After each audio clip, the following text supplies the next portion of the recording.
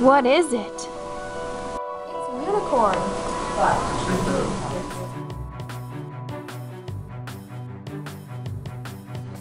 I've never seen one up close before.